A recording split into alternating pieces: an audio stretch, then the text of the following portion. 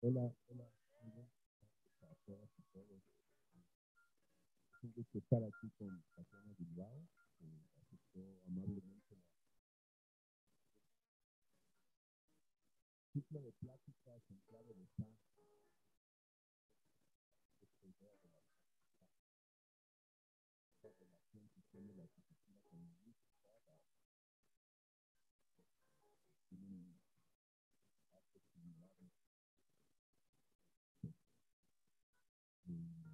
y queremos aprovechar la nuestra para, para realizar este ciclo. Eh, estos días vamos a tener una conferencia diaria y posteriormente pasará a ser una frecuencia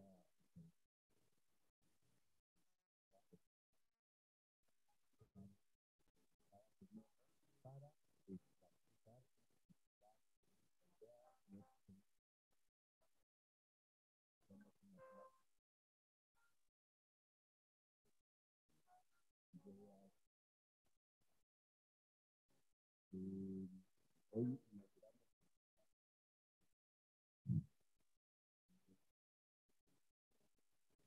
Gonzalo Mendoza va como comentarista junto con Fabricio, es el editor de, a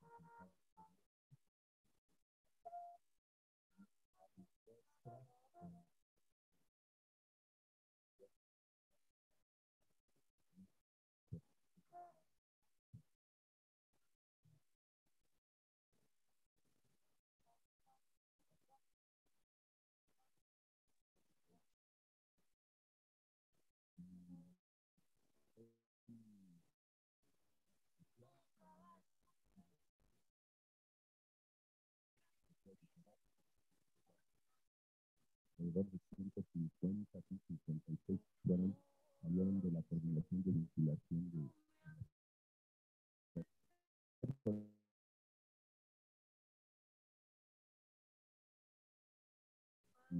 hace desde su asociación civil, desde su operación comunitaria. Español Ignacio Mendaros, que vino a México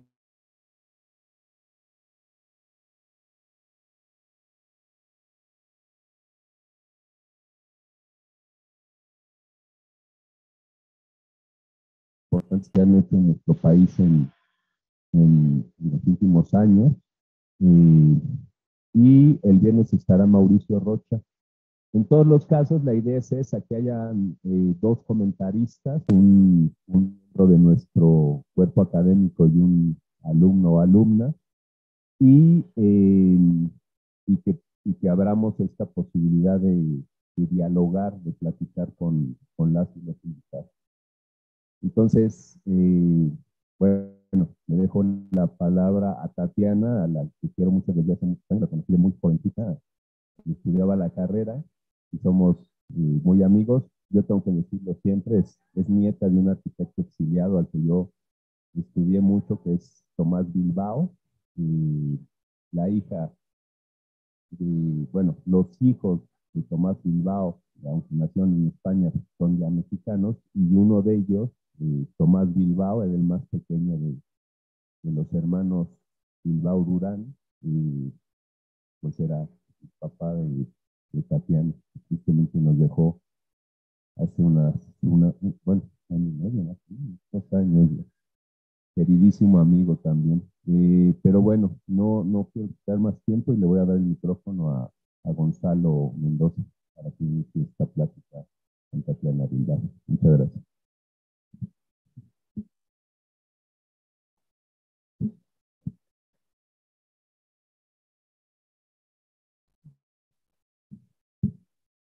¿Qué tal? Buenas tardes a, a todas y a todos. Estamos muy, muy contentos y contentas de que el teatro esté casi lleno, otra vez después de dos años eh, de ausencia de actividades culturales por acá. Y, y también estamos muy emocionados y emocionadas de que inauguremos este ciclo con, con Tatiana, que eh, en lo personal, no sé si te acuerdes, hace unos años hice una plática en la biblioteca, que la gente sentada en el que le estaba. Pero estudiantes eh, entonces, que, que, estés de regreso nos, nos, emociona mucho y sobre todo con el tema que hoy nos vas a platicar sobre cómo pensar el paisaje del futuro y cuál tiene que ser, ¿no? Que es el título de tu, de tu, ponencia del día de hoy. Y un poco como decía el doctor del Cueto, eh, la intención de, esta, de, esta, de, estas pláticas de esta semana y las que vengan son eh, romper un poco el formato de y poder tener un diálogo eh, tan abierto como este formato de teatro lo permita. Y entonces, bueno, para, para no tardarme más, voy a dar una breve introducción de quién es Tatiana Bilbao. Y antes de darla, simplemente voy a hacer la referencia que lo que leeré es parte del sitio web de Un día una arquitecta construido por mujeres eh, arquitectos alrededor del mundo. Entonces, mejor que ellas para eh, darnos una, una semblanza. Eh, Tatiana Bilbao Spammer nació en México en 1972. Multifacética, innovadora, transdisciplinar y global serían algunos adjetivos que definirían tanto la personalidad como la práctica profesional de Tatiana.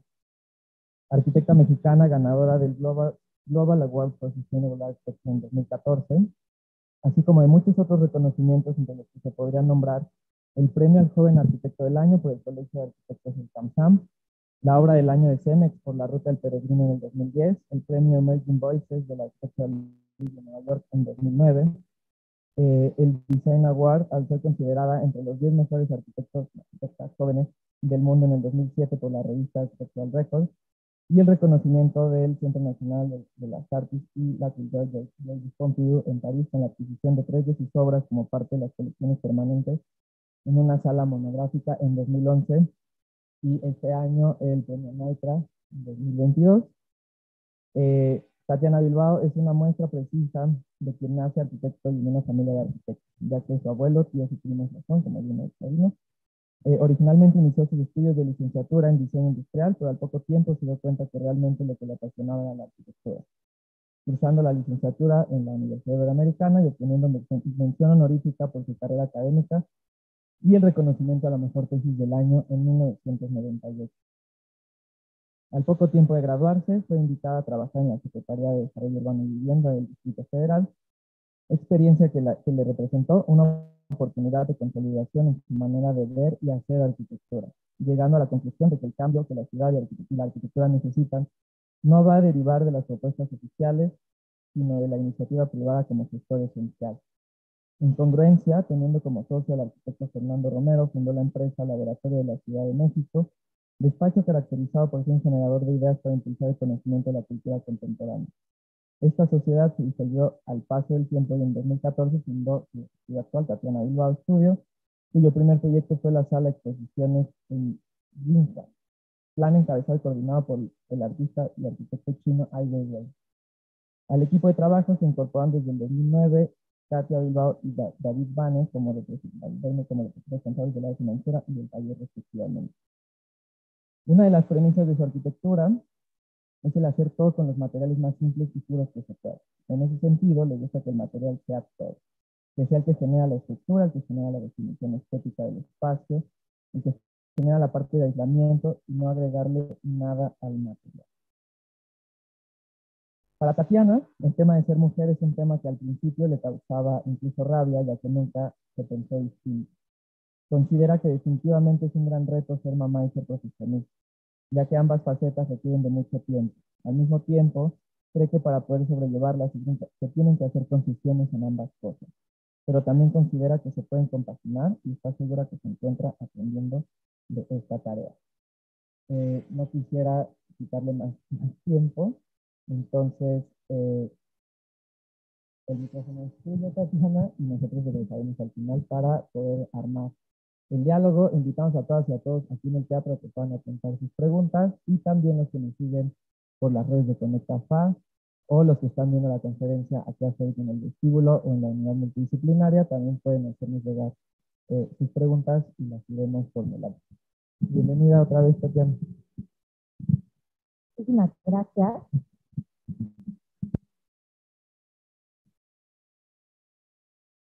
Muchísimas gracias. Para mí es un verdadero honor eh, estar aquí con ustedes. Eh, más que sea yo la que de estas pláticas, verdaderamente me parece un honor muy, muy, muy grande y agradezco esto profundamente. Me encanta además también si es que el primer estoy yendo, me, me gusta todavía más. Muchísimas gracias y te lo voy a compartir.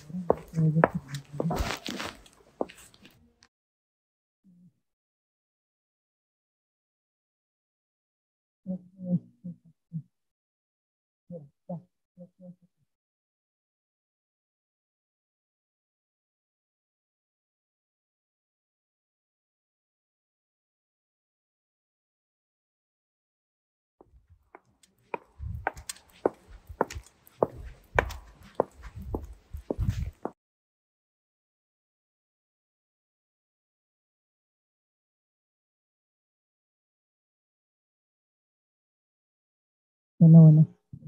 A ver.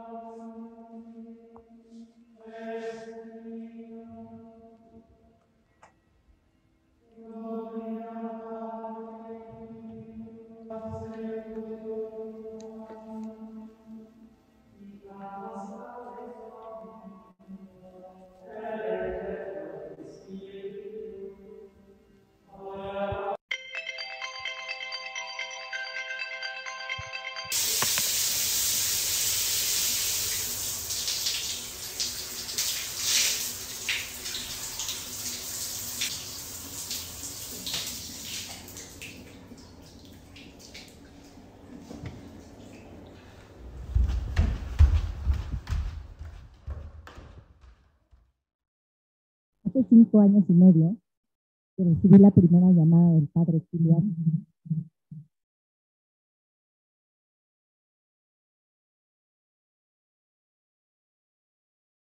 Mejor me voy a callar porque es hablo en, en intermedio. de-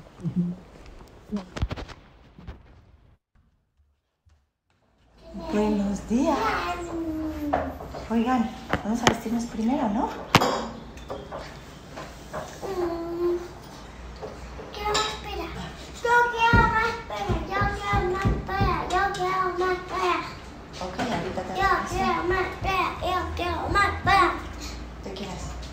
eu Quero me cortar. Quero me cortar, você me caiu.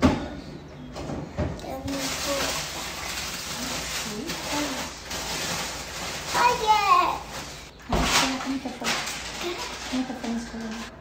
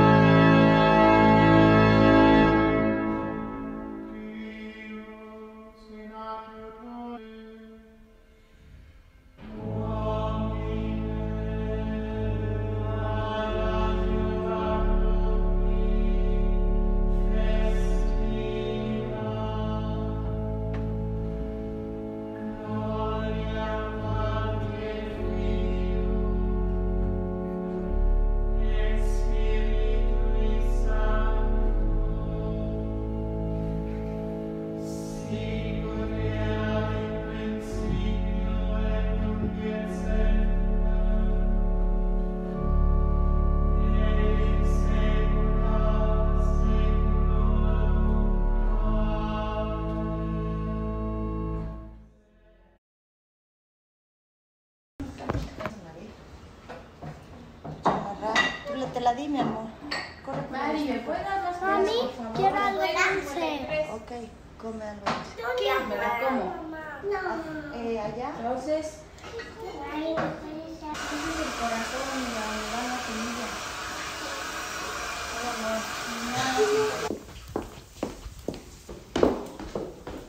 Niñitas.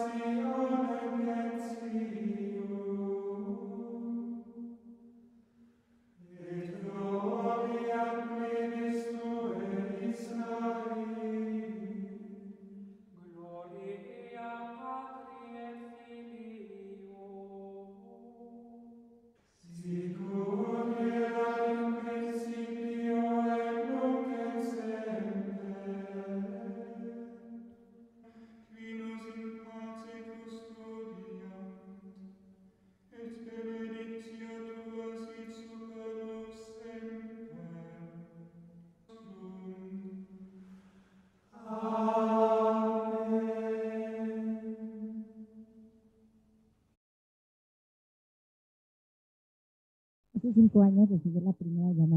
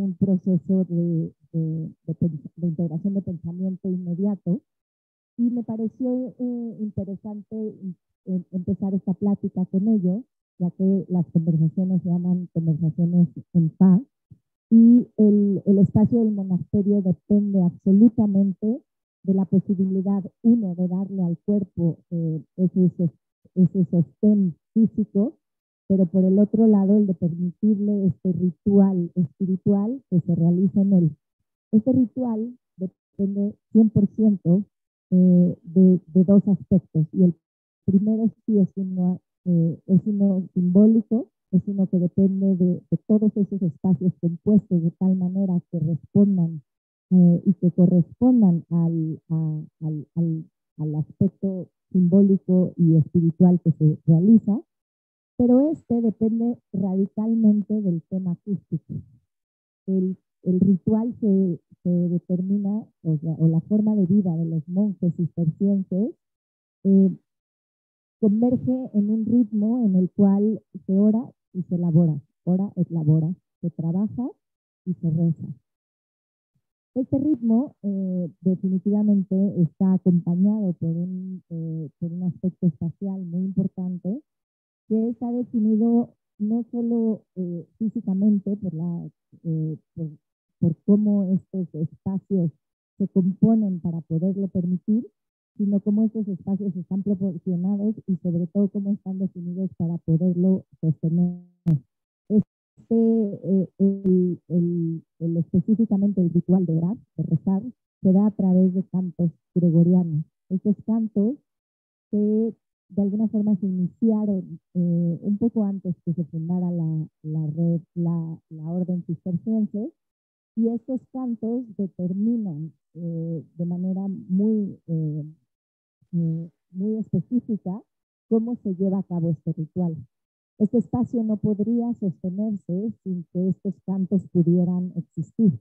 No podría sostenerse porque no podría sostener el ritual que tiene. Estos cantos dependen 100% de la arquitectura del lugar. Y al, estar estudiando la historia, nos hemos dado cuenta, bueno, evidentemente todos los monasterios cistercienses en el mundo tienen una forma muy específica. La tipología es muy, muy clara y es muy radical. Está descrita, no literalmente, pero, pero prácticamente en la regla de San Benito, en la cual es la regla que estos monjes eh, pasan toda su vida y la cual la dirige. Eh, San Bernardo, que es el fundador de la Orden de los Monjes Cistercienses, fue quien sí, de alguna forma, en su carta, revisión a la Carta de San Benito, genera una descripción mucho más específica de cómo este espacio monástico debe ser. Y es por ello que la mayoría de los monasterios cistercienses tienen una, eh, una definición muy, muy parecida y muy específica. Y como dije, responde a eso.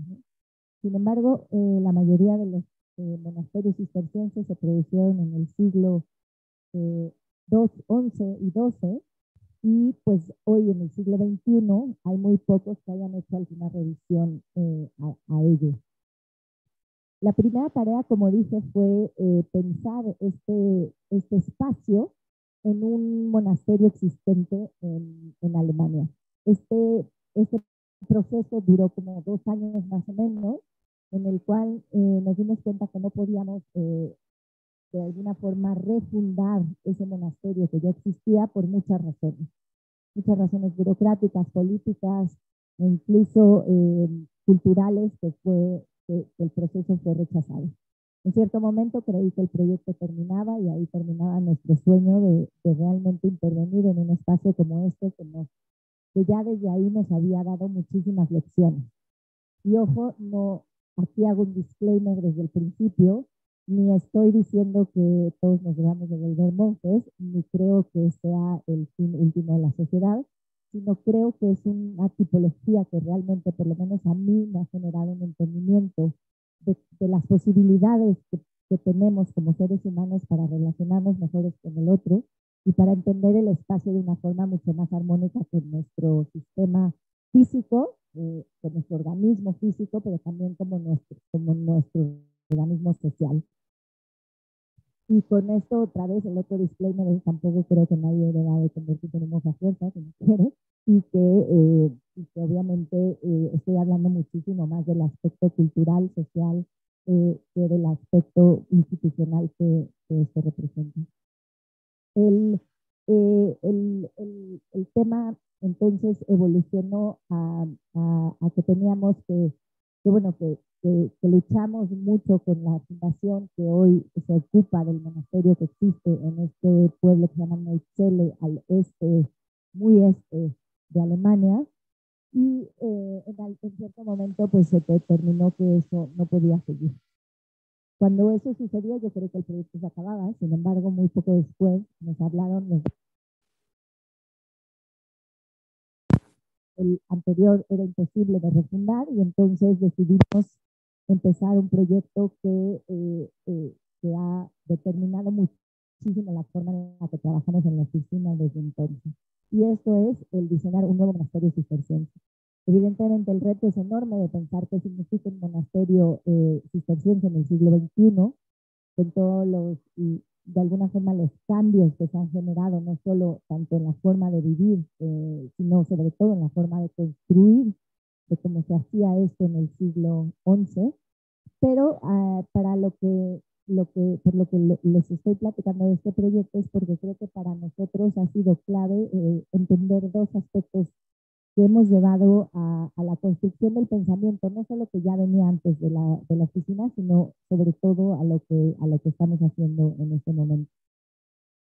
Para un monje, eh, la vida está determinada por, por ese espacio eh, espiritual en el cual habitan.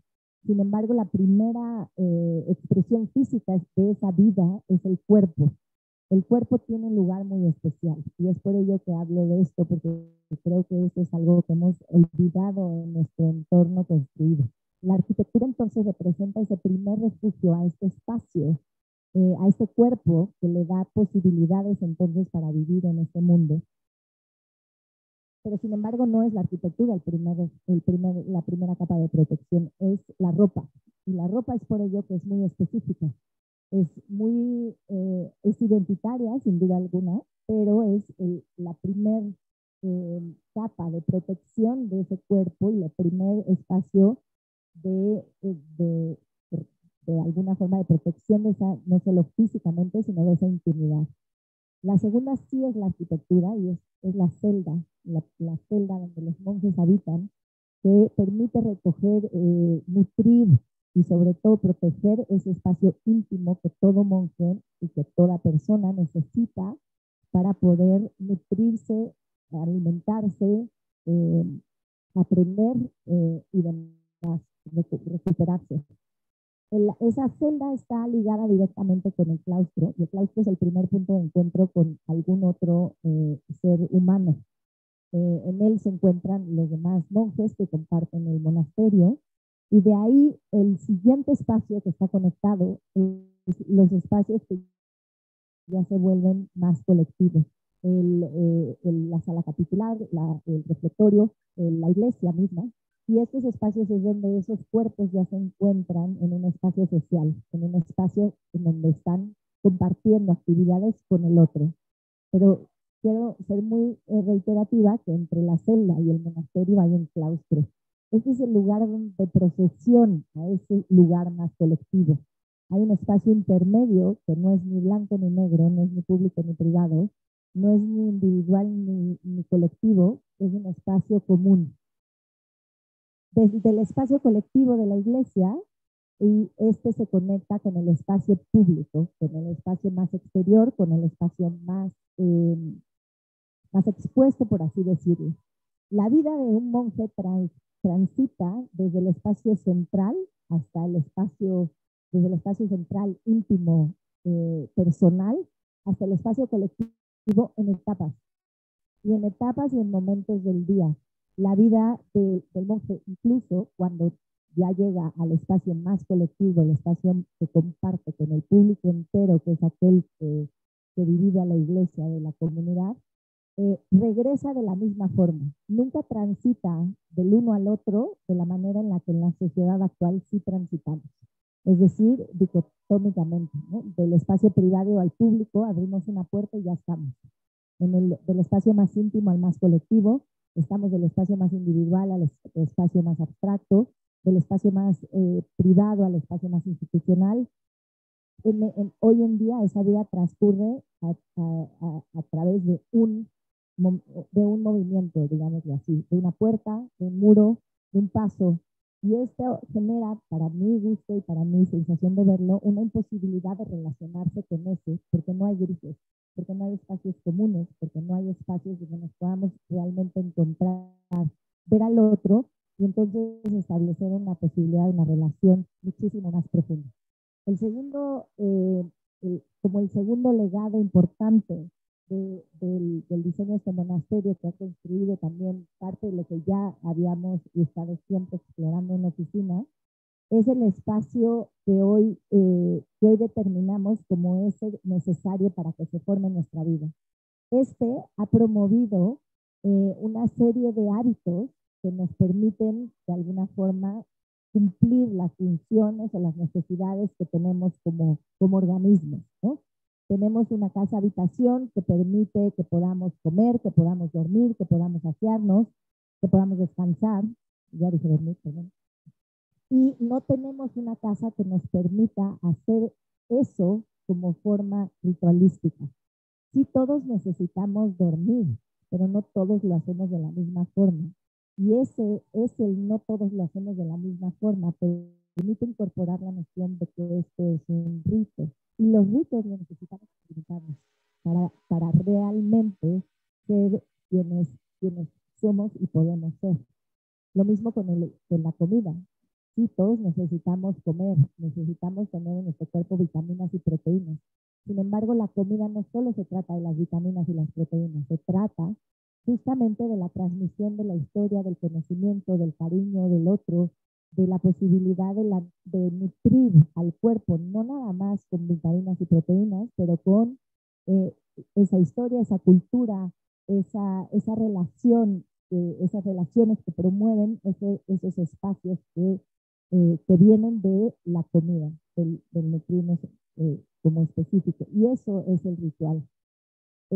la sociedad actual promueve que esto sea un hábito, que sea una cosa que tenemos que hacer tres veces a la semana, tres veces al día, tres veces este, alguno, por desgracia no todos podemos hacerlo diario, eh, tres veces al día y, eh, y que tenemos que generarlo como un hábito para poder subsistir.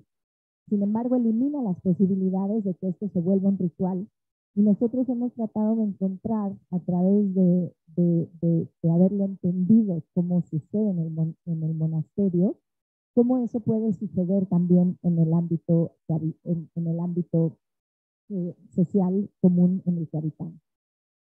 Hemos desde hace mucho tiempo como buscado que nuestra arquitectura se vuelva esa serie de espacios que se relacionan, que son distintos y que se relacionan con los otros en, escalas, en etapas, en momentos y que permita eh, esos espacios que no son dicotómicos, que permita esos espacios comunes que permite esos espacios donde se promuevan esas relaciones que puedan ir escalando y que puedan ir escalando sobre todo de distintas formas, como cada quien y como cada uno las necesite.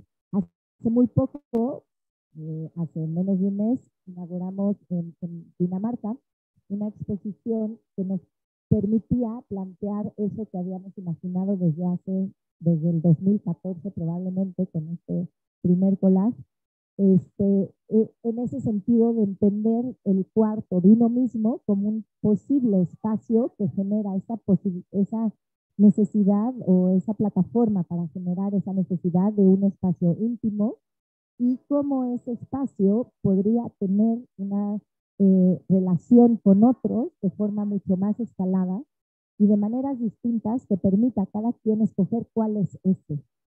Todos, como dije, necesitamos un espacio íntimo, todos necesitamos un espacio que nos permita reconstituirnos nuestro cuerpo. Sin embargo, no para todos significa lo mismo. No para todos ese espacio íntimo es el espacio de dormir. No para todos ese espacio íntimo es el espacio individual, cerrado y, y, y, este, y, y enriquecimiento. No para todos ese espacio colectivo es el espacio que se abre. No todos, para todos el espacio colectivo es ese espacio en donde se está. Para algunos, a lo mejor, ese espacio es el que se duerme. Y es por ello que hicimos este pabellón que de alguna forma mostraba esa posibilidad de tener muchos espacios distintos. Algunos espacios pueden promover la creación, otros espacios pueden promover la reflexión, otros espacios pueden promover la intimidad eh, más profunda y sin embargo, pues eh, algunos y todos ellos pueden ser obsoletos para unos o para todos. Creemos que es importante eh, entender cómo podemos generar arquitectura que pueda volverse una plataforma para que cada quien pueda desarrollar su propia existencia y no imponer de alguna forma eh, la manera en la que todos nosotros tenemos que habitar. Es claro y desde el principio de, de mi trabajo me, me puse como objetivo convertirme en el otro para diseñar eso es imposible, es imposible porque cada uno de nosotros, aunque trate de convertirse en el otro, no se puede, porque siempre somos nosotros mismos. En ese sentido, entonces, ¿cómo buscar una arquitectura que sí pueda eh, ser habitada por ese otro, como ese otro es y como ese otro existe? Hay una hay una problemática inherente ¿no? con lo que es la arquitectura, porque la arquitectura es un acto que piensa una persona para que alguien más la ocupe. Y eh, entonces, ¿cómo, ¿cómo esa arquitectura se puede volver ese espacio? Que son las preguntas que nos hacemos todos los días en la oficina. En este proyecto en específico, nos pedían eh, justamente que abriéramos la mente. Es una casa habitación en España y nos pedían que abriéramos la mente a no tener algún sujeto específico al cual le construíamos para hacer una propuesta de espacio habitado. Lo que nosotros decidimos fue generar entonces eh, o eliminar de, de, entrada todos esos espacios que deberían de existir en una casa, deberían de acuerdo a quién, sí, a las reglas, a la reglamentación, sí, en una casa y hoy en día en, en, la mayoría de los países, eh, pero en México sin duda, eh, existe una reglamentación muy específica que determina qué es una casa, al menos como mínimo. En, en, el caso de México, en el artículo cuarto de la Ley General de Vivienda, dice que una casa es aquella que tiene que ser esa que tenga los espacios suficientes para que tengan una sala, un comedor, un, eh, dos recámaras, al menos una cocina y un baño. Esto como mínimo. Eso ya de entrada determina cómo, cada quien, cómo, quien debe, cómo y quién puede habitar esos espacios. Eh, además de ello, determina ¿no? que una, una recámara más grande y una más chica para esa familia heteropatriarcal que eh, responde a solo un porcentaje muy, muy bajo de la población mundial hoy en día. Es por ello que nosotros decidimos hacer esta casa de alguna forma pensando en cómo eliminar esas definiciones y que cada quien las utilice como mejor eh, decida. Es para mí más fácil pensar en eliminar esa determinación que la definición estética que la arquitectura le imprime un autor. Eso es imposible deshacerse de ello porque siempre la hay. La decisión incluso de hacer algo completamente diáfano, eh, rectangular y, blanco es una definición estética. Entonces, ante esa imposibilidad decidimos amarrarnos a eso, a decir, vamos a hacer una propuesta estética, pero puramente estética. Esto es entonces una serie de módulos que se componen de esta manera porque así lo determinamos, pensamos que era eh, una composición estéticamente a, nuestro, a nuestra visión. Y son módulos que se multiplican, se suman, se, se distribuyen eh, de alguna forma en el terreno de, de maneras eh, como muy, muy abstractas y sin ninguna realmente ninguna reflexión más allá del entender el paisaje como, un, eh, como una relación eh, con la arquitectura que pudiera permitir plataformas de, de, de, habitar distintas. Y eh, los problemas empezaron cuando teníamos que, que, que mandar estos planos a la municipalidad para que la casa fuera aceptada porque claro, evidentemente ahí tiene que cumplir con ciertas normatividad que tiene que cumplir la arquitectura con ciertas funciones. Decidimos incluso ahí buscar una forma de representación de la arquitectura de forma distinta. Creemos que también no solo el espacio determina cómo se debe de habitar, sino también los dibujos que hacemos determinan cómo se deben ocupar esos espacios. Entonces aquí estábamos tratando de retar eso y generamos estos croquis que están en planta, sección, fachada, incluso son maquetas porque son papelitos que se doblan. Eh, no, no, está fácil adivinarles cómo son aquí y que no, eh, de alguna forma, no dirigen cómo se tienen que usar cada uno de esos espacios. Porque nosotros nos imaginábamos que esos espacios eh, pudieran ser habitados por cada quien de forma distinta. Aquí están representados como a, alguien en la oficina, específicamente a Gonzalo Mauleón, se le ocurrió eh, ocupar esos espacios, pero sin embargo nos resistimos muchos años a hacer una imagen como estas para que incluso ni estas imágenes pudieran determinar cómo cada quien pudiera ocupar ellos, cómo pudiera ocupar esos espacios. Esta casa no se ha construido este, y por lo tanto no sabemos qué casa, espacio, habitáculo, este, esculturas, cubos en el paisaje, como le quieran llamar, no se ha construido, por lo tanto no sabemos cómo esto pudiera realmente establecerse como eso, como lo que queríamos ser, una plataforma para que cada quien desarrolle su propia experiencia. Después de haber hecho ese proyecto, nos invitaron a, un, hacer otro ejercicio que nosotros creíamos que era todavía más experimental que el anterior, en un lago en Alemania, eh, en donde la, la llamada pedía una casa que eh, respondiera a las nuevas formas de habitar. Y las nuevas formas de habitar, definidas por ellos, eran eh, esas en las cuales la sociedad iba a moverse a, buscar espacios en donde eh, vivir y trabajar al mismo tiempo. A mí me parecía muy raro de entrada esa, esa premisa, porque lo primero es, a mí me parece que la casa es el lugar de trabajo más importante de, de, todos, porque es donde se hace el trabajo reproductivo y de cuidado y ese es el trabajo que nos da la vida. Aunque este no está reconocido como un trabajo, eh, este es el trabajo más importante que todos los seres humanos tenemos y necesitamos. Sin embargo, no nada más eso, si ya hablamos de la distinción del trabajo eh, productivo y el trabajo de, habitar y de existir como dos entes separados, sí podemos eh, también encontrar que este siempre se ha hecho en este mismo espacio en el cual habitamos, el trabajo productivo. Y este se ha hecho así durante toda la humanidad, pues no es nuevo.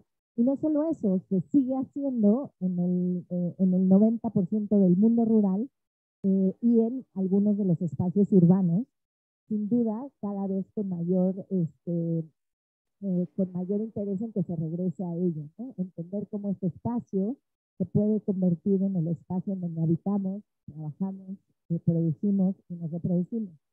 Entonces me parecía raro llamarlo nuevas formas de vivir y yo lo entendí siempre como formas de vivir. Formas de vivir en el planeta en donde existe una plataforma que te pueda permitir hacer eh, cualquier tipo de trabajo que necesites. Y el programa que nos pedía el proyecto era una casa con 120 metros cuadrados, con 12 cámaras, una cocina, una, una, una sala de comedor, etcétera, etcétera.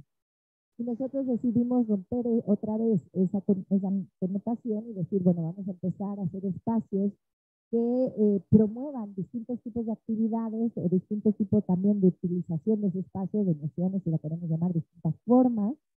Hicimos esta tabla para poder empezar de alguna manera.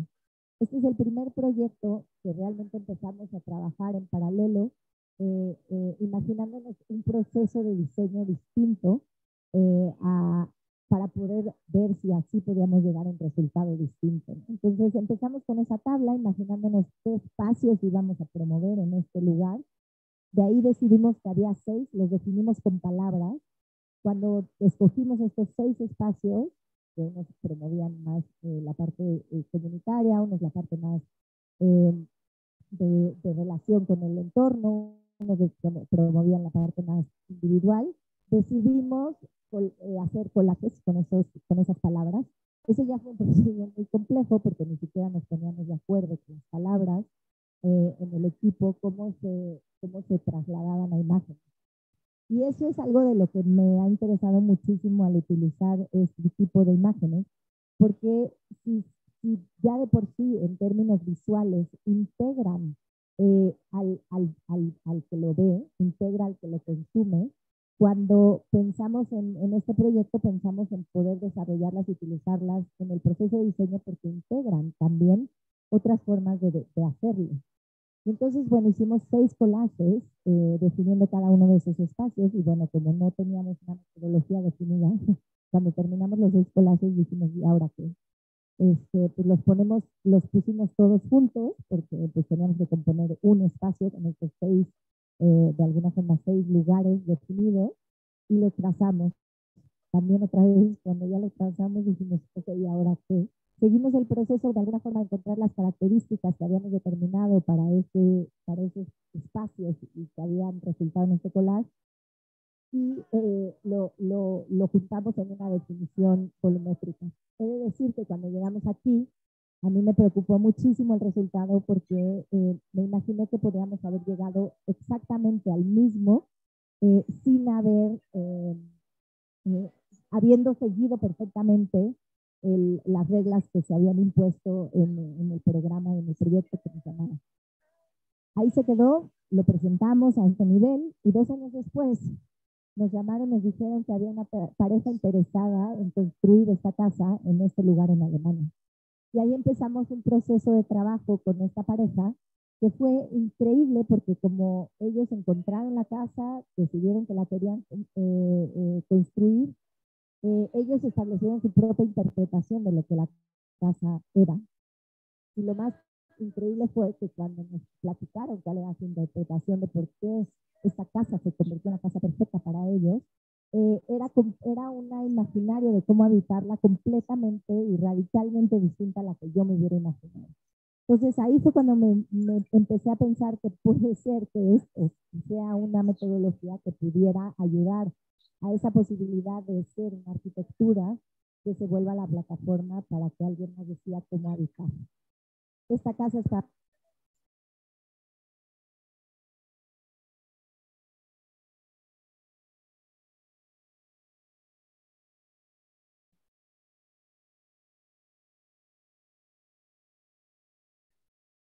Eh, es así como hemos tratado de desarrollar distintos proyectos empujando estrategias que puedan cambiar tanto las percepciones de las relaciones entre el espacio íntimo y el espacio eh, colectivo, eh, que puedan cambiar las, posibilidades de eliminar las relaciones entre, entre muy determinadas, como lo hace hoy en día la vivienda, y hemos tratado de trabajar además esto en muchísimos ámbitos. ¿no? Hemos, eh, eh, hoy en día está en construcción un proyecto en el cual tratamos de retar las normas de cómo se habita en Estados Unidos, en, un, en una ciudad eh, muy típica en San Luis, Missouri, en donde la tipología más que, que más persevera, que, que, existe de mayor forma es esta de la casa individual en fila, y lo que nosotros tratamos de hacer fue generar un espacio que pudiera permitir que estas casas individuales existieran, pero no estuvieran en fila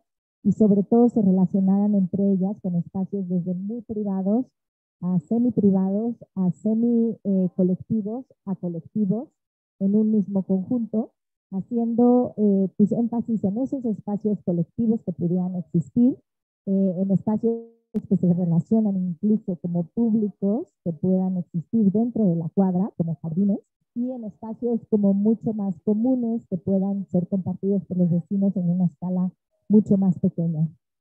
Estos espacios eh, están hoy en día en construcción, es un, es un proyecto que pues para nosotros sí supone como una experimentación importante de cómo la casa privada se puede volver ese, ese núcleo de relación con el exterior y invitamos a tres otras oficinas, a Macías Peredo, a Productora eh, y a MOS, que, hicieron cada uno una casa.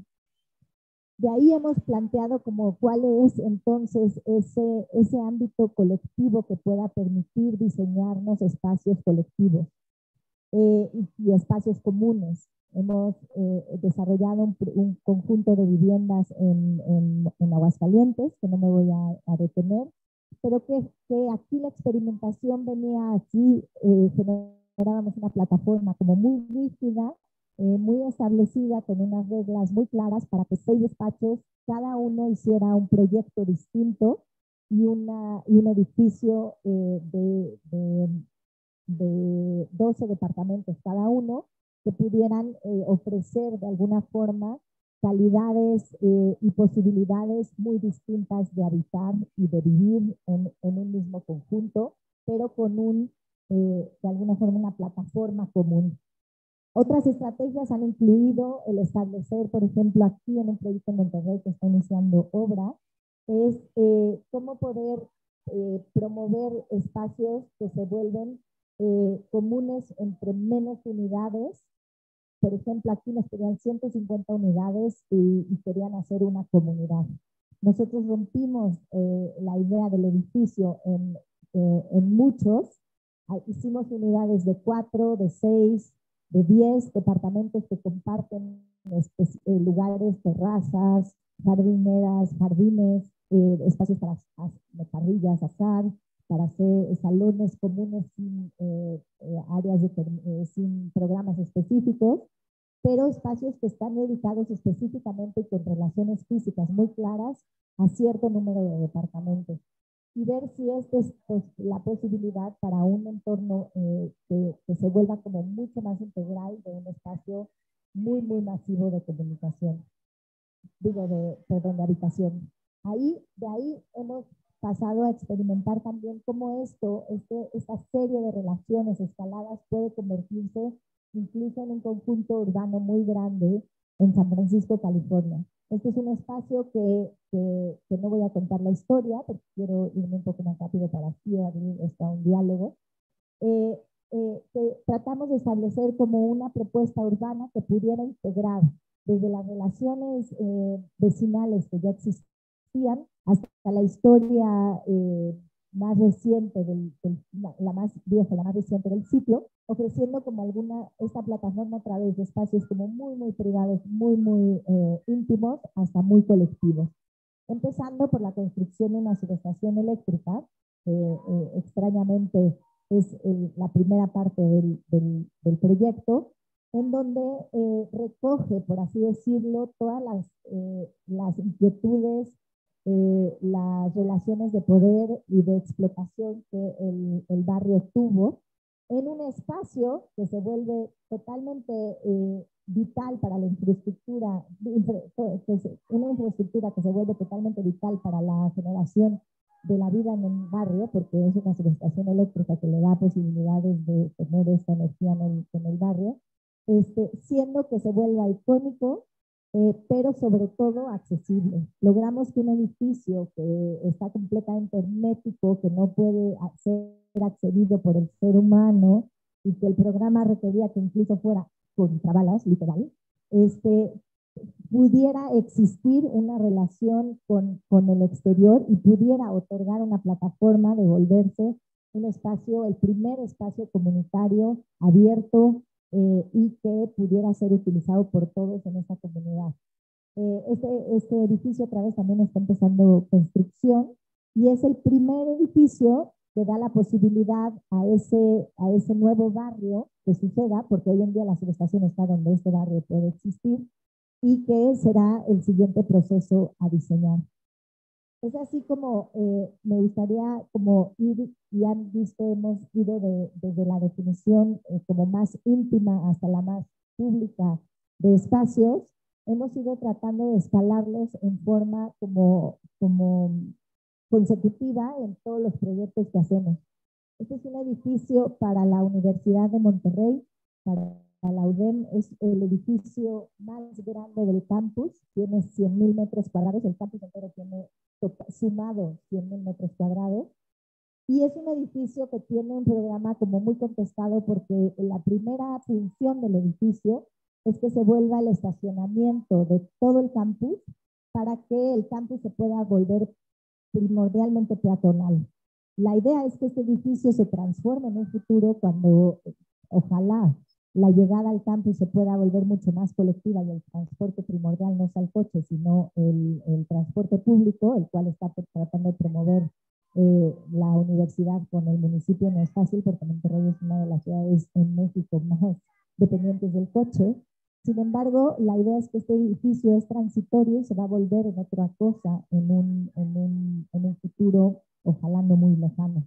Y es por ello entonces que estas dos sobreposiciones de, de estructura, ¿no? de ser una estructura muy específica para un elemento que hoy eh, determina muchas de nuestras construcciones, que es el coche, cómo este se puede no solo dar pie a que el edificio se utilice por humanos, principalmente, porque además hay más que coches, eh, sino que cómo puede este también volverse ese, como esa estructura que determina esa relación entre el, entre el uso actual y el futuro, entre el interior y el exterior, entre la escala del coche y la escala del ser humano, y cómo estas estructuras pueden mediar entre esos espacios todo el tiempo de, de, de, utilización del mismo.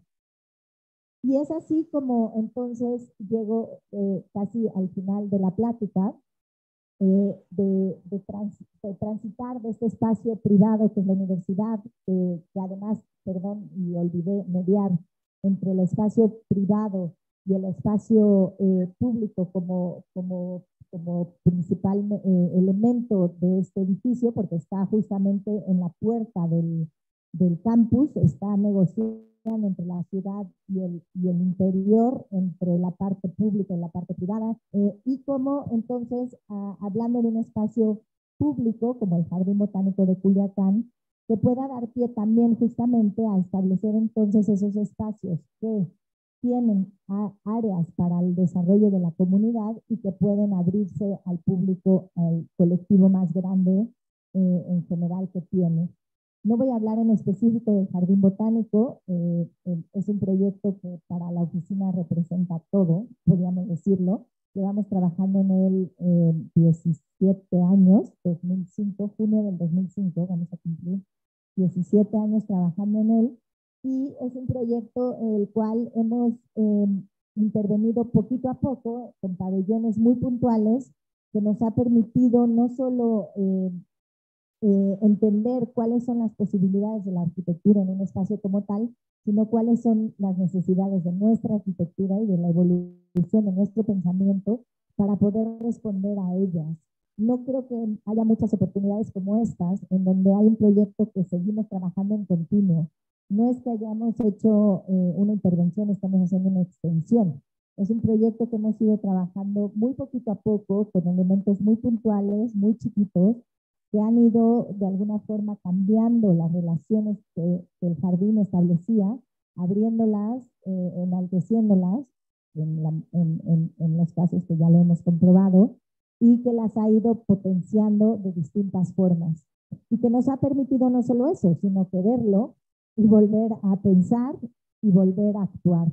Hoy en día estamos iniciando eh, la, la, construcción de la quinta área, por así decirlo, de intervención, que es el acceso sur, que nos permite además también de alguna forma hacer un recogimiento de cómo ha ido evolucionando nuestra arquitectura, porque estábamos ahí en el 2009, estábamos aquí en el 2016 y bueno, ahora en el 2022 estamos en otro lugar. Y ya esta plática la voy a cerrar con el proyecto que, de alguna forma sigue esa línea de pensamiento del Jardín Botánico, no solo ello, gracias al Jardín Botánico fue que nos invitaron, que es el Parque Central, de Mazatlán y el Centro de Investigaciones del Mar de Cortés. Eh, hace cinco años nos invitaron a de alguna forma entender cómo consolidar el uso eh, que se le daba al Parque Central de Mazatlán. En ese momento era un parque que se había casi casi determinado solo porque eh, es un espacio que tiene una laguna de regulación y que por lo tanto es muy difícil construirlo encima. Entonces la ciudad presionó, presionó, presionó hasta que ya no pudo avanzar más porque el agua estaba ahí y entonces quedó este espacio abierto eh, en, en, el centro de Mazatlán que por muchas administraciones pasó eh, en, en, intervenciones muy pequeñas y muy puntuales para poder ver si se podía eh, convertir en este espacio central para la ciudadanía. Y entonces nos pidieron a nosotros hacerlo. Y entendimos que el reto más grande era cómo hacer un espacio que fuera público colectivo, que tenía una característica muy específica temporal. Se inundaba en ciertas zonas, en ciertos momentos del año, se eh, inundaba hasta ciertos lugares casi todo el tiempo del año y se quedaba seco en ciertos lugares casi todo el tiempo del año. Entonces generamos un proyecto que tiene esas tres posibilidades. Se usa cuando está eh, eh, semi inundado, se usa cuando está inundado y se usa cuando está seco. Y se usa de distintas formas, pero el mismo espacio. Y son lugares que permiten esa fluctuación y permiten ese cambio de uso de manera em, alterna y alterada y que permiten entonces, por lo tanto, la coexistencia de estos dos eh, entes, eh, el, el, el, colectivo social y el, eh, el natural, que es la laguna esta de regulación. Nosotros cuando iniciamos el proyecto había dos grandes edificios infraestructurales que iban a existir, que era un museo y un, y un acuario, y no eran diseñados por nosotros, sin embargo nosotros sabemos muy bien que tenían que estar los dos en cada una de las esquinas, una eh, noroeste y en la otra en el sureste.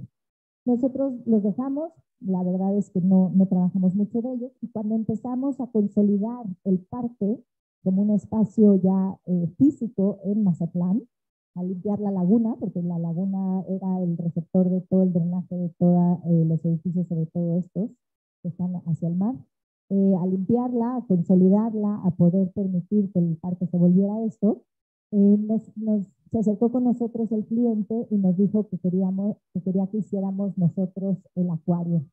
El acuario, el diseño del acuario que tenían no era eh, un acuario que se pareciera a un acuario, claramente era un edificio muy genérico, además pretendía tener pingüinos en el interior y eh, como que además se viera como un acuario, se pudiera volver un espacio identitario del parque.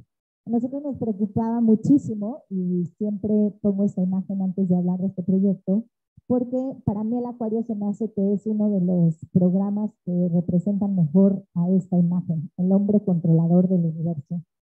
eh, como es esta vida que no podemos acceder, la traemos a nosotros y además la, la fantaseamos y la ponemos a- al servicio de la imaginación del, del ser humano. Me parecía que era muy, muy delicado decir que y pensar que íbamos a hacer un acuario y les expuse mis, mis, mis dudas a, la gente del, del parque.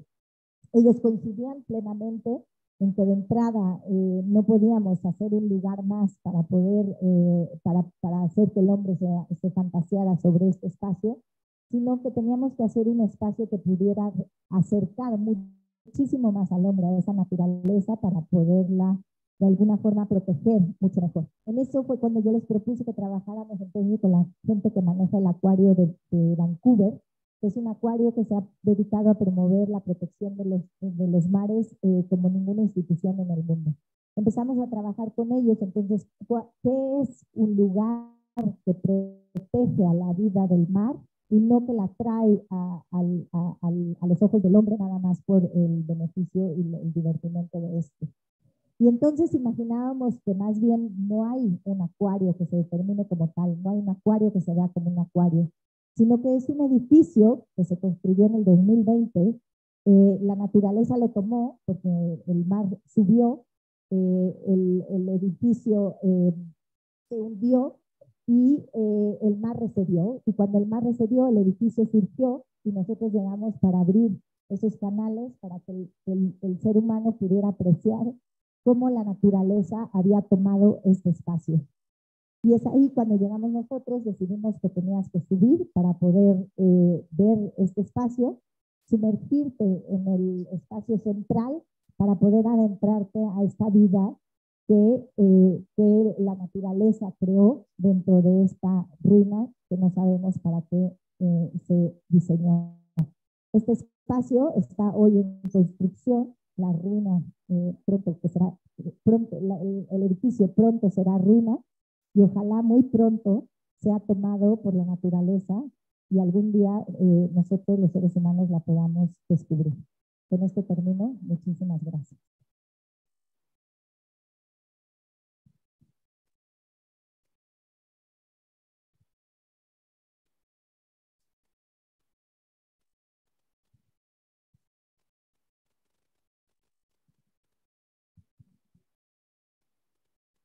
Muchas gracias. Muchas gracias, Tatiana. Eh, como bien decíamos al principio, lo que buscamos con estos minutos que nos quedan contigo es eh, armar un, un pequeño diálogo. Eh, en ese sentido, quiero cederle la palabra a Fabricio, que es el editor del, del anuario 2021, que como decía el director al principio, vamos a presentar el viernes a la una de la tarde aquí en el vestibule, así que los esperamos a, a todas y a todos. Eh, así que Fabricio, si estás listo, es una muestra estudiantil, y entonces esperemos que los estudiantes no nos tomen el micrófono hoy. Y ya después sí, puedo por ahí. ¿Va? Bueno, am, bueno, primero que nada, em, bueno que le han cambiado el nombre como esas pláticas de pláticas magistrales para que como que nos sintamos más en un, un ambiente más horizontal, en donde podamos no solamente, bueno, yo me acuerdo mucho de venir a esas pláticas y como que me quedaba con mucho, pero a la vez me quedaba con muchos nervios de preguntar. Entonces creo que invitarles, invitarlos, invitarlas a no sentir este miedo y a, genera- y a no solamente quedarse con cosas, sino también como construir cosas aquí, construir ideas. Entonces, o sea, sé que no estoy dando buen ejemplo porque estoy muriendo de nervios, pero, pero creo que anímense a preguntar todo lo que, todo lo que quieran. En este sentido, am, am, quiero, quiero expresar como mi admiración hacia tu trabajo, es increíble, todavía lo conozco un poco más. La verdad es que en la parte de los módulos de, de las casas, eh, bueno, de cómo se construye, cómo, cómo empezar a, a pensar la, la, la- el hogar. O sea, por ejemplo, me, me- tengo muy presente esta frase de Tatiana que dice, yo no hago arquitectura, yo soy arquitecto. Y creo que lo ejemplifica perfectamente en, esta, en estos módulos. Que no solamente em, normalmente, ¿qué estamos estudiando? Bueno, ¿qué estamos, o sea, nos dicen, ¿qué estás estudiando? Estoy estudiando para hacer arquitectura. O ¿qué estamos aprendiendo en las clases? Bueno, en realidad no tenemos que aprender a qué es lo que se debe de, cómo se deben de ver las cosas y cómo no se deben de ver, que es como, como lo que planteaba al final de tener un control del universo, cómo, cómo se debe habitar un lugar. Y, y este proyecto ejemplifica perfectamente cómo se debe de, cómo, cómo das libertad a lo que sigue, ¿no? O sea, solamente somos arquitectos, la arquitectura viene después. Entonces, eh, la pregunta va para ustedes eh, y sería como, o sea, ¿ustedes qué están haciendo, no? ¿Ustedes están aprendiendo? ¿Qué es aprender arquitectura? Y después, ¿qué? Y si, y si, y si no estamos haciendo arquitectura, ¿qué estamos haciendo, no? bueno, no, sé qué preguntar, pero, como que se, como que se cuestionen todas estas horas que, hemos eh, pasado en un salón de clase. Entonces no sé quién quiera responder, comentar algo, lo que sea.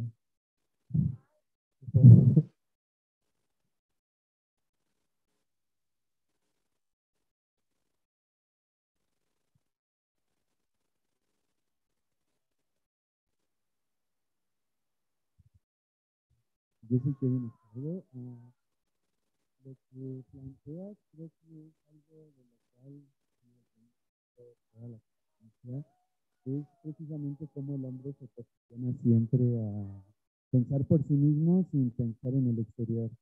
Creo que todo el tiempo es estar pensando en nuestros fines estéticos, sin el estar pensando también que hay una sociedad, una comunidad que se puede integrar de distintas formas y que también puede tener un impacto cultural distinto hacia la sociedad. Creo que actualmente pues tomamos muchos puntos que son más que nada pues eh, ser el centro de atención, ¿no? Ahorita con lo que íbamos planteando, el uso de tan solo el vehículo, ¿no? Como lo mencionaba en la universidad, ¿cómo podemos plantear una solución a que en vez de usar el vehículo tengamos pues más cerca todas las cosas que podemos hacer, pero dándoles igual un, un uso distinto, ¿no? Porque al menos eso es lo que compartiría de mi parte.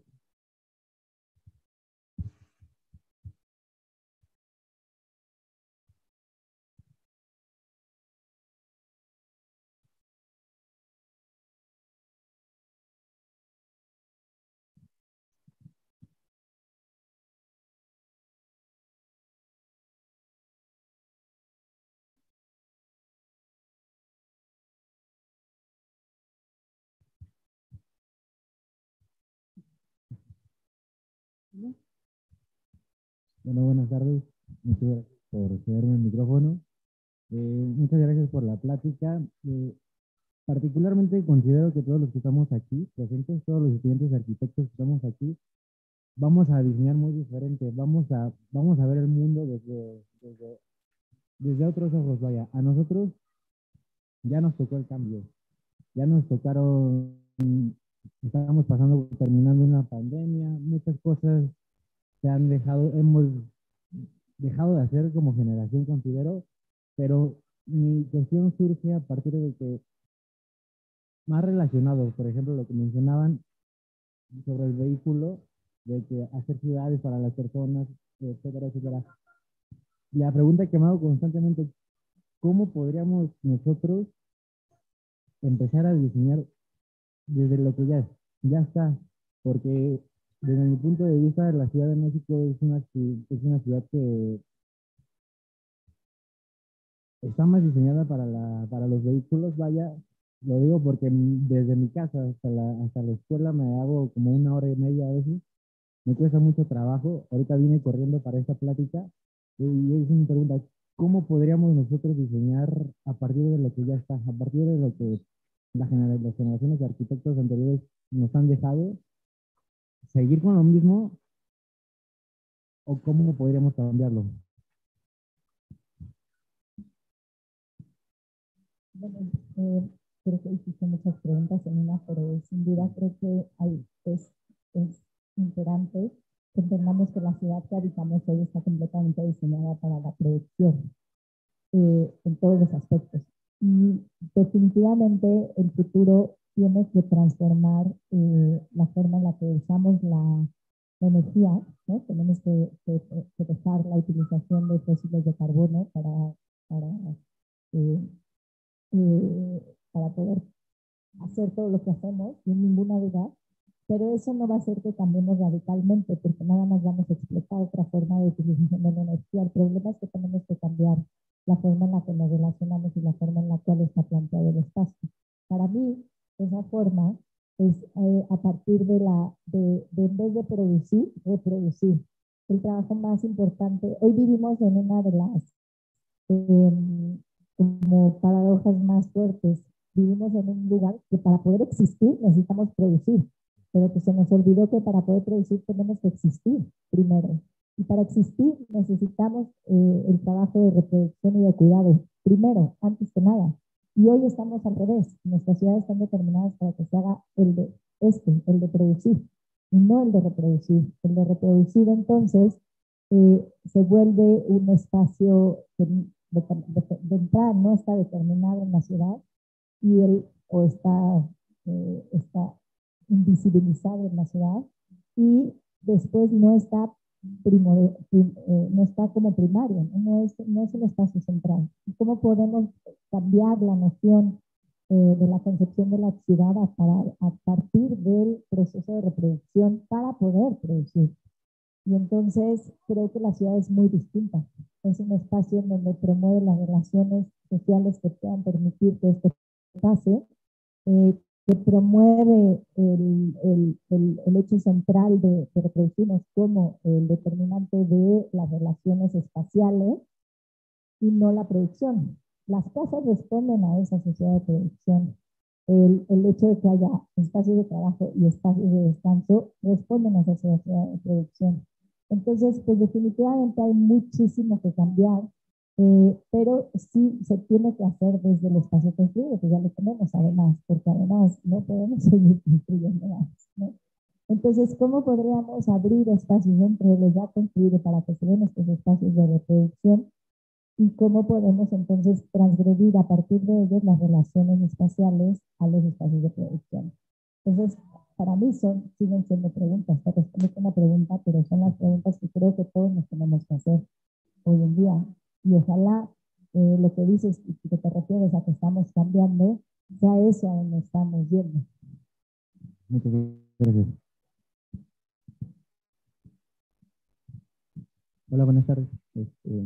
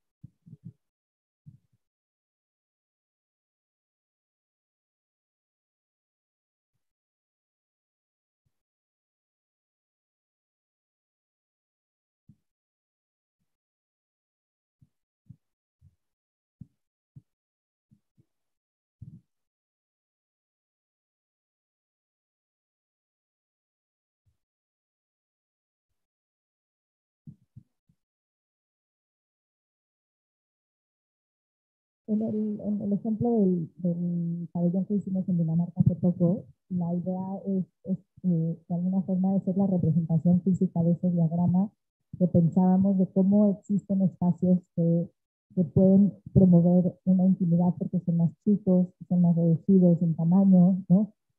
ellos mismos no aceptan tampoco mucha gente en ellos. ¿Cómo pueden ellos no ser el uno o lo otro, sino de ahí ser otro espacio que se vuelve un poco más grande, que pueda aceptar más eh, otra definición, tanto colectiva como de, de, actividad que se pueda dar, como otra relación con el exterior, que además tiene eh, otra definición de, de, forma material. Eh, cómo puede ese espacio entonces relacionarse con otro que se intersecta, que pueda promover otro espacio distinto y que se pueda eh, de alguna forma interpretar por cada quien como cada quien lo utilice. ¿no? Y en vez de entrar directo ¿no? de, de, un espacio al otro, tienes una serie de elementos que te permiten irte relacionando, que aumentan en escala, que aumentan en, en, en invisibilidad o en, en, elementos invisibilizadores para eh, poder generar ese tipo de relaciones de forma distinta. Y son experimentos eh, que nos permiten construir esas partes del pensamiento de para, para eliminar estas barreras que son dicotómicas, ¿no? que son públicas o privadas, que son eh, individuales o colectivas, que son este, íntimas o, o, totalmente expuestas, ¿no? que son privadas institucionales, que son ¿no? concretas o abstractas, son hombres o mujeres, son familias o no familias, ¿no? O sea, cómo poder eliminar esas barreras para que haya más posibilidades de que todos se, se puedan incluir porque hoy en día el espacio cada vez está volviendo más exclusivo en muchos sentidos, desde muchas maneras, ¿no? ¿Cómo poder hacer arquitectura para que se vuelva al revés? Justamente muchísimo más inclusivo, muchísimo más eh, comprensivo, muchísimo más accesible para, para muchas formas distintas de habitar.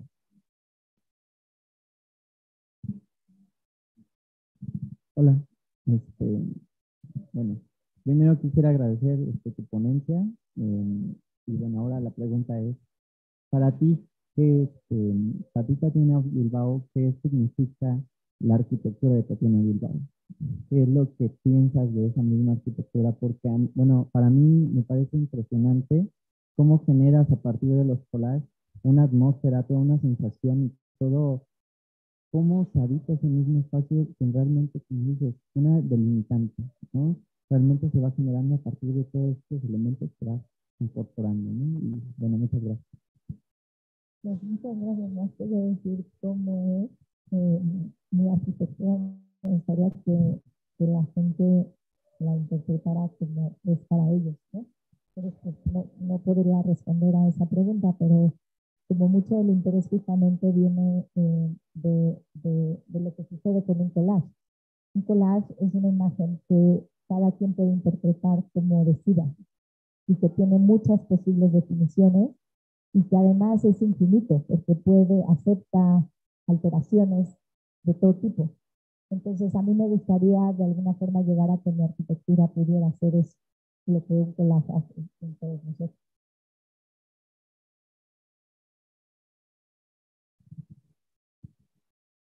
Yo aquí quisiera interrumpir un poquito. Yo creo que, que me da la pauta para, para poner sobre la mesa un tema eh, que me llamó mucho la atención, en donde creo que nos hablaste de arquitectura, de tu arquitectura sin hablarnos de arquitectura, nos hablaste de un usuario, nos hablaste de las distintas relaciones que se va generando, ¿no? O sea, la narrativa toda la plática desde el, desde el del monasterio hasta el proyecto Mazatlán, porque lo que va configurando una manera de ver y entender la disciplina desde el usuario y desde las relaciones espaciales que se generan. Eh, y al final que puede reduciendo una palabra que es muy dura, pero que creo que hoy estamos en el punto en donde podemos repensar lo que es un programa. ¿no? La experiencia de un usuario en particular. Y eso a mí me parece eh, que, que, creo que es de las cosas que tendremos que estar sin, antes haber pensado tres veces en la revolución doméstica yo quisiera aproximarme a lo doméstico no solamente a un hogar, sino a eso, a ese social y a ese programa en general, ¿no? Tan abstracto como puede ser. ¿Cómo sería esa libertad que tú imaginas para el usuario de esto? O sea, ¿te imaginas tú uno de tus edificios, lo terminas y después que hagan lo que quieran? ¿Cómo podríamos llegar a esa, a esa apropiación? Que creo que tiene que ver con lo que está Fabricio hace un momento, ¿no? hacemos, eh, somos arquitectos y arquitectas en la arquitectura y en aspectos que es muy, muy romántico y muy bonito. Eh, ¿Cómo sería eso? No? ¿Cómo te lo imaginas?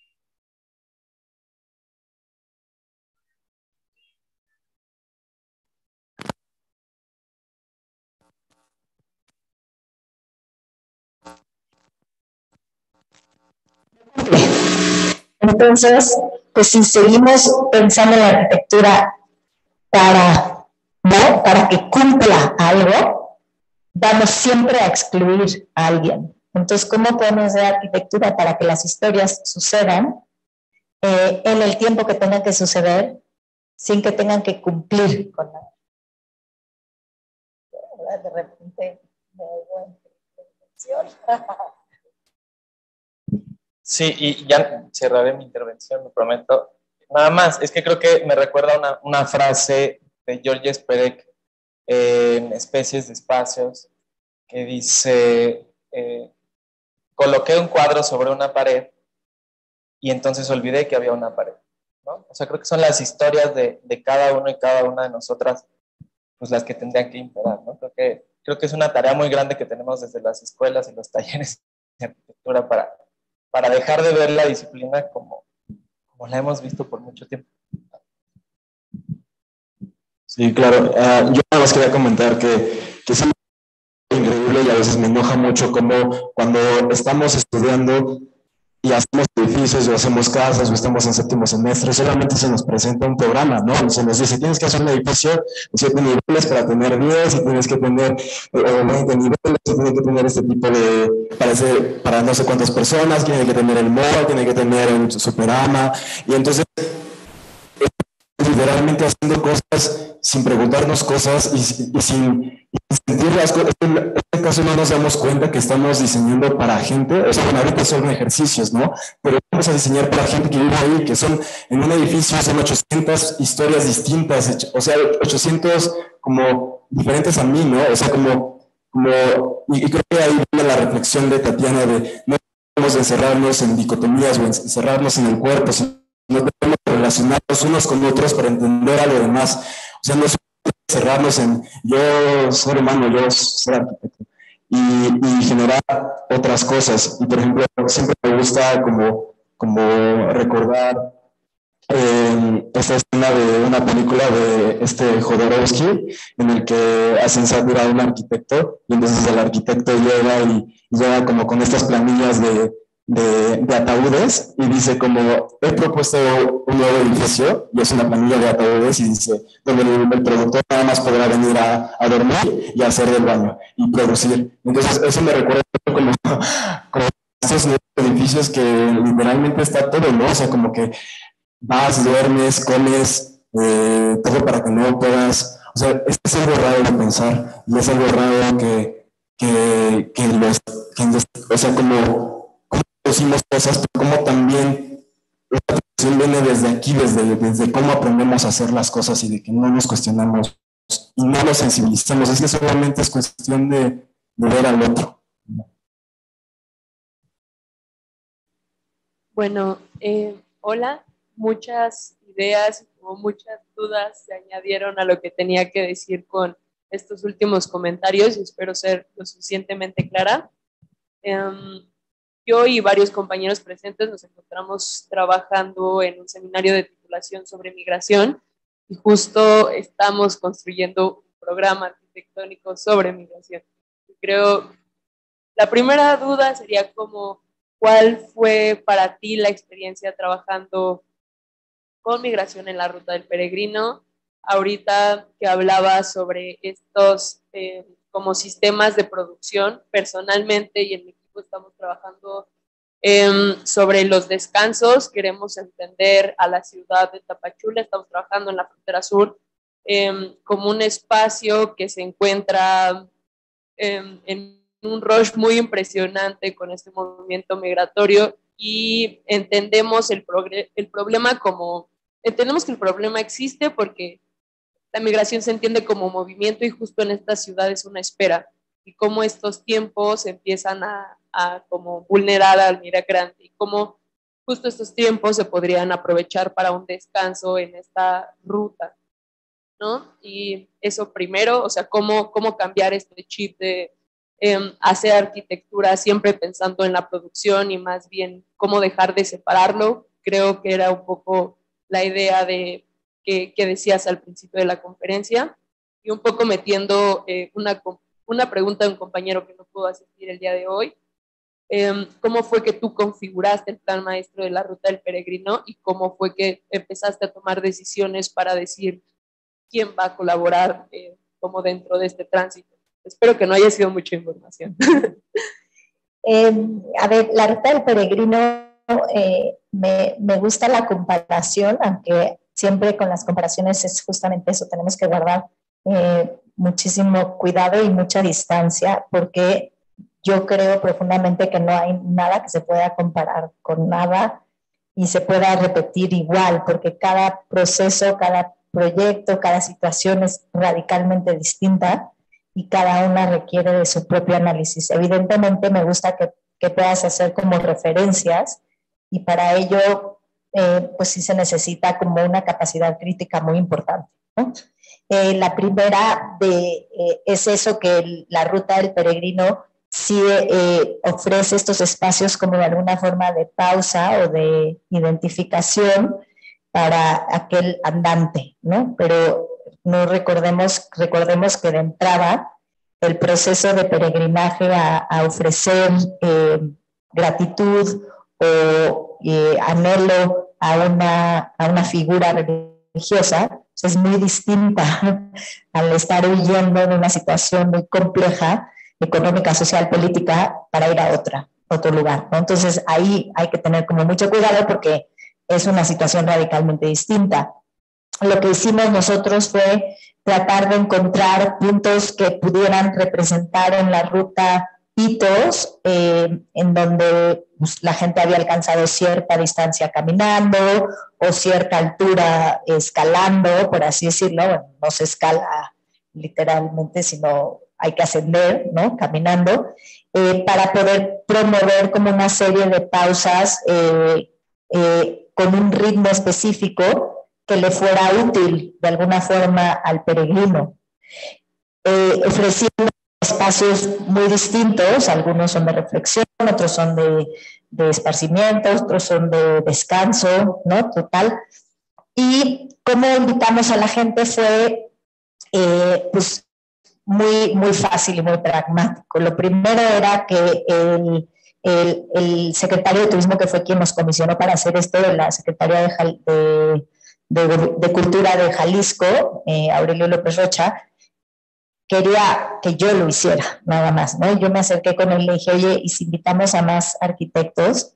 Me dijo, oye, pero yo nada más quiero lidiar con uno, ya es suficiente lidiar con un arquitecto, y no tengo además dinero para, para contratar a nadie más. Y le dije, no te preocupes, yo organizo el colectivo, yo soy tu voz, pero lo voy a hacer con mucha cabeza, muchas cabezas porque yo no creo que tenga la capacidad para responder a ni una de estas preguntas que tú me estás haciendo. Y entonces, eh, pues ante esa situación había un presupuesto muy bajo, porque ya de entrada era bajo y luego al dividirlo, pues ya era casi nulo. Y había una necesidad de que pues, fuera una comunicación como muy fluida, entonces tenía que conocerlos y tenía que, tenían que estar convencidos y confiar en mí para poder que yo fuera el, el vínculo entre ellos. Y por el otro lado, lo que quería era que fueran mentes muy diversas, con sobre todo visiones muy distintas eh, al, al, al, catolicismo, a una localidad muy específica que era la nuestra, para poder tener esas voces en la mesa que confrontaran eh, a, pues, a muchas nociones ya establecidas en nuestro, eh, en nuestro subconsciente, ¿no? aquí en México, y cómo poder actuar ante ello, y por eso escogí así a la gente. Perfecto, muchas gracias.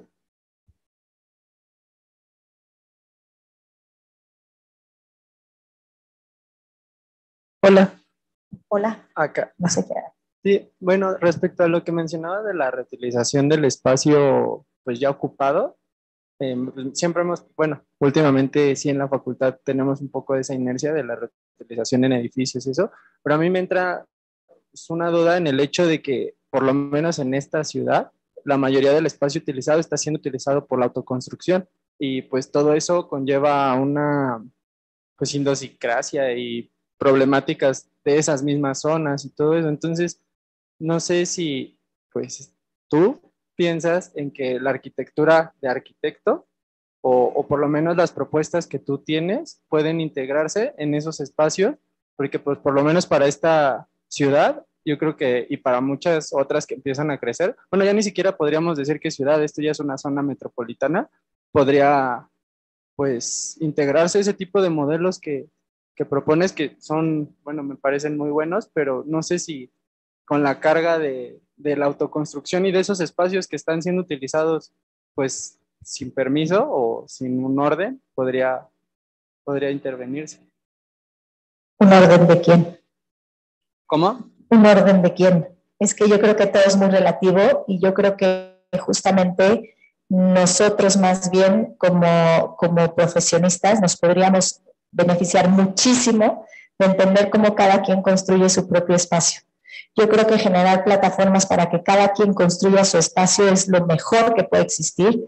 Sin embargo, eso no es muy fácil porque eh, a la hora que empiezas a, a poder de alguna forma establecer esas plataformas desde lo central para que cada quien construya su propio espacio, otra vez se vuelve una imposición por sí misma.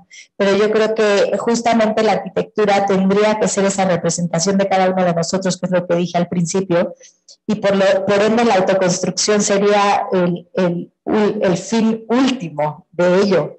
Sin embargo, ¿cómo poder establecer sistemas para que se vuelva sostenible y para que se vuelva posible, eh, pues es muy complejo porque es justamente donde se vuelve, eh, pues, ¿qué, qué, fuerza gana más, ¿no?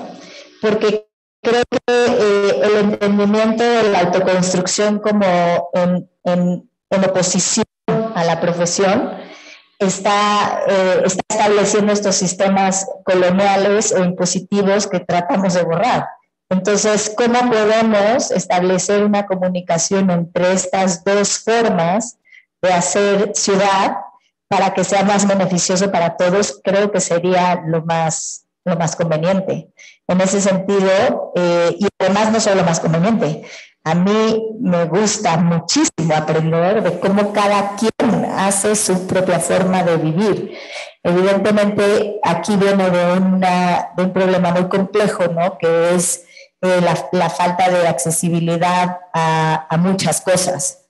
Si no viniera de ahí, pero viniera de, desde lo más profundo de cómo podemos cada quien construir nuestro propio espacio, sería lo que, lo que para mí sería el ideal de la sociedad. Gracias.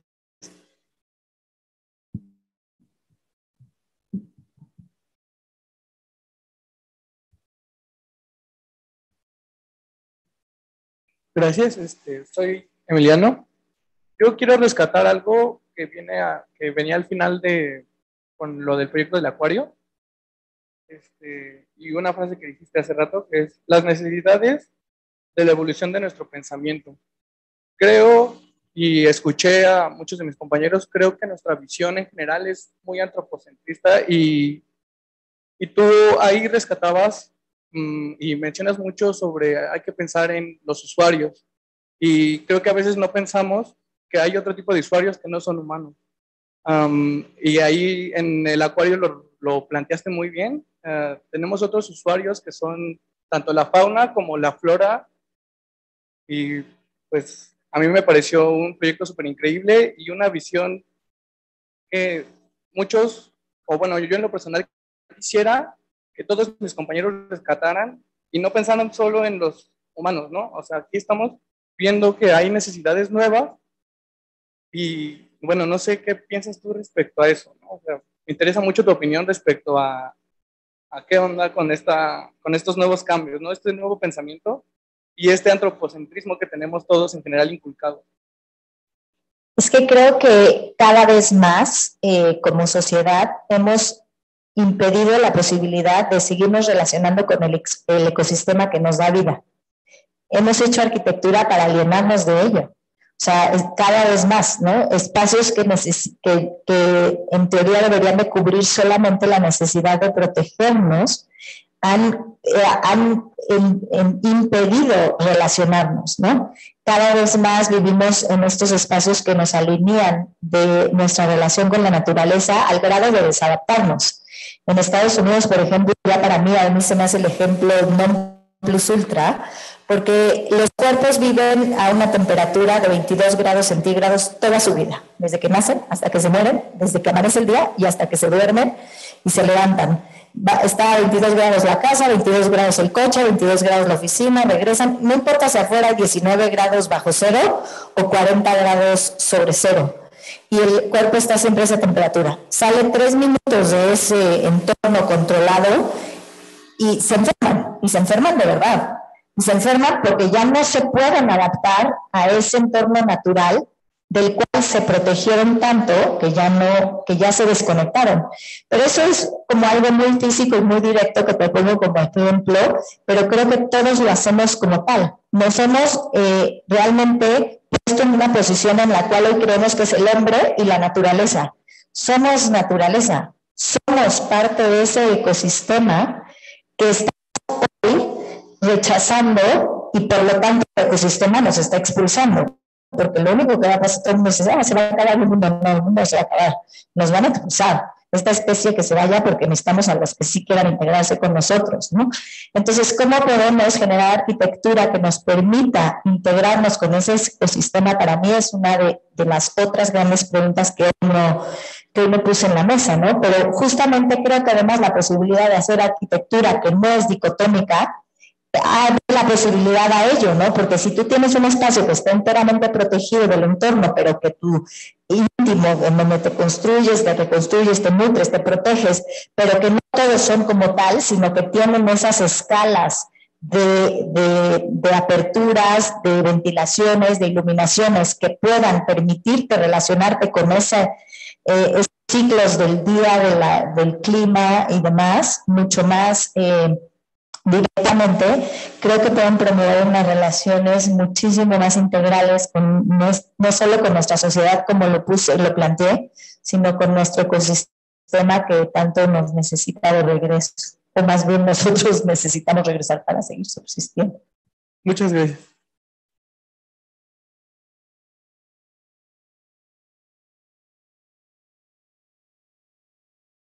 Hola, mi nombre es Jorge y pues nada, solo quiero pues agradecerte de verdad estar aquí frente, frente a ti, es muy emocionante. Eh, ahorita que te la palabra, pues me tiembla todo el cuerpo, el corazón se me quiere salir.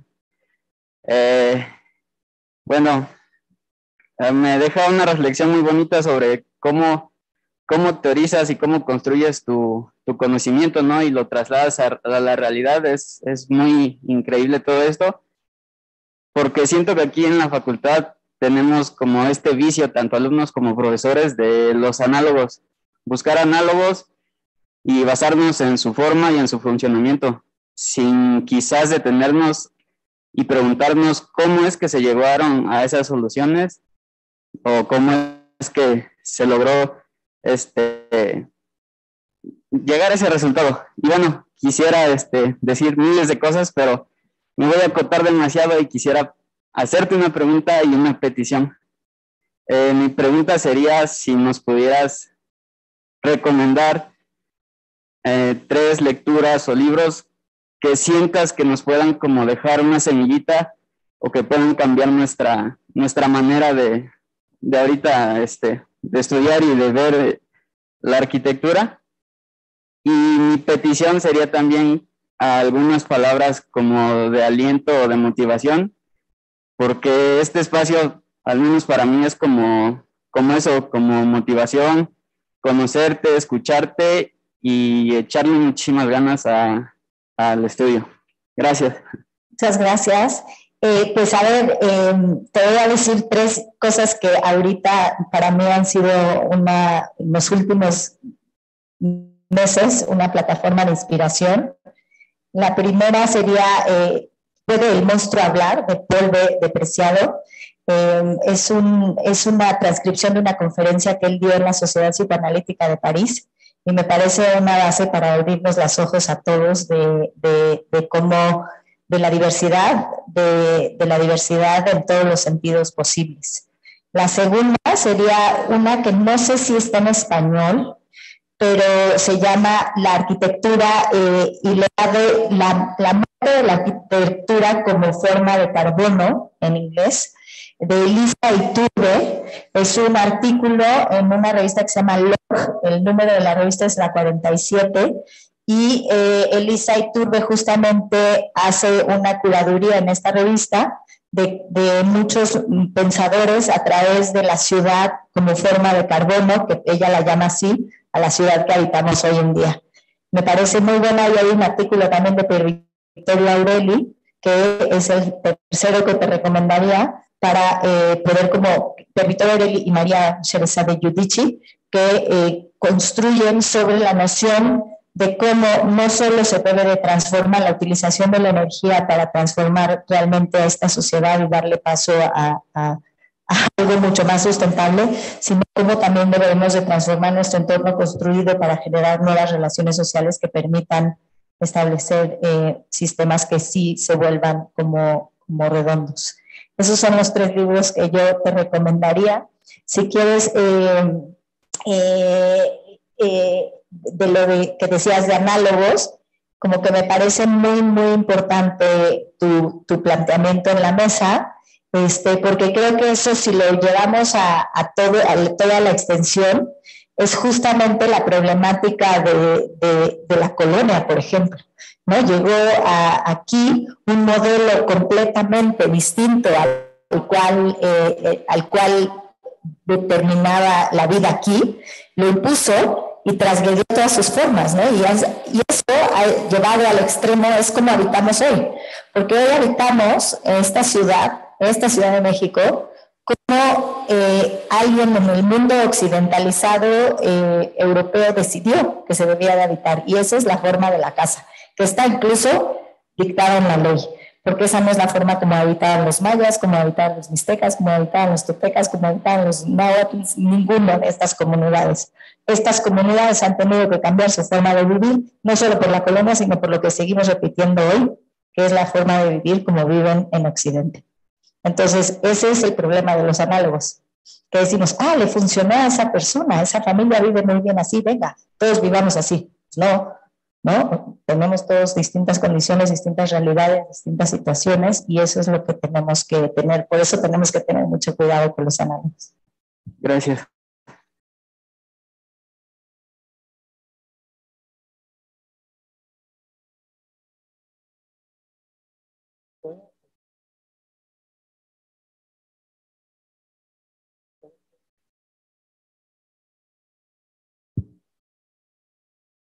Hola Tatiana, yo soy Diego este, y la verdad es que desde que terminaste la plática, como que en mi cabeza no deja de estar presente un término que, que, no me gustaría reproducir, pero creo que es la única palabra, digamos, que existe hoy para describir lo que yo veo en tu arquitectura, que, que me da pena decírtelo, porque, porque considero o hasta donde puedo ver que mucho de lo que nos has planteado se puede definir como Young Space. Entiendo yo el Young Space como esta plataforma donde tú colocas cosas que resuelven tus necesidades, pero ese espacio no, no está en, no está pensado para que esas cosas se colocan en el momento en que el usuario decide ponerlas eh, funcionen correctamente el ejemplo que más, que más digamos, recuerdo de, una, de uno de este tipo de espacios, que no sé si toda la gente estará de acuerdo conmigo, es el Museo Sumaya. El, el Museo Sumaya tiene una muestra espectacular, pero yo cuando voy lo veo y digo, esto, esto es una bodega. tiene una, una colección espectacular, pero es una bodega, o sea, ni siquiera el aire es adecuado. O sea, yo, yo me da mucha pena. En, en 30 años iremos ahí a lo mejor, a lo mejor se estarán echando a perder los cuadros, ¿no? Entonces, eh, regresando, regresando a tu arquitectura, donde más veo este problema es en, en, la maqueta que nos mostraste, donde las casas están dispersadas, son como pequeños pabellones. Y, y es que entiendo el propósito que es como vaciar el espacio, tener una experiencia estética de él, pero, pero también está imponiendo unas características. O sea, o sea, no podemos nunca renunciar a la imposición del habitar un territorio establecido. Y cada vez que alguien hace arquitectura está estableciendo un territorio y, y, y creo que tú eres la primera persona en la que, que, está queriendo huir, de, la territorialidad de un habitar o de un hábitat, pero, pero es que es irrenunciable, o sea... La arquitectura siempre... es un acto colonial, punto, ya, no hay más. En todos los sentidos, es un acto que coloniza un hábitat, que coloniza un espacio, que coloniza una cultura, que coloniza un ser, que coloniza, punto, ya, no hay más y no hay cómo escapar. Lo que, lo que yo pretendo es establecerme en ese punto donde está el problema y ver qué, qué fronteras se pueden eh, establecer, a lo mejor nuevas y a lo mejor no. Sí, yo veo tu trabajo como, como una exploración artística, más que un trabajo de un arquitecto. Bueno, considerando al arquitecto como artista, así, así cabe, cabe la exploración completa, ¿no? Gracias. Pero sí, o sea, son preguntas muy complejas, pero yo no me siento cómoda no estando en esas preguntas. Son preguntas que siempre eh, encuentran en lo que hago eh, contradicciones muy grandes. Pero prefiero estar en ese lugar que en el lugar donde se encuentran las respuestas o las preguntas cómodas. Sí, muchas gracias. Sí, justo creo que todo va de eso, de Bueno, muchas gracias,